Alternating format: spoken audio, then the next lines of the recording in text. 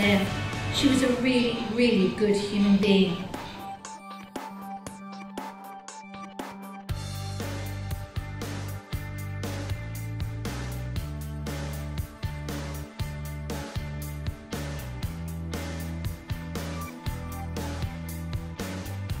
Yeah, he was a very special person to everyone in the squad.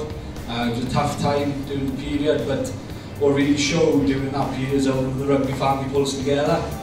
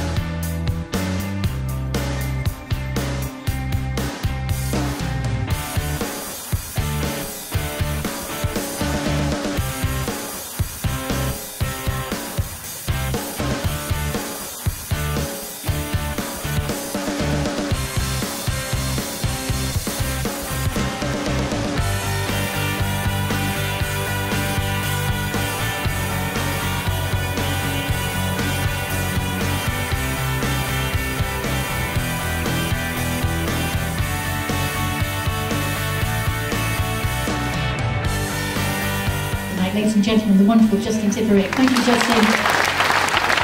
And thanks to uh, Annette. Ladies and gentlemen, your Osprey of the year for 2016-2017 is our medical performance manager, Chris Harris. Please show your.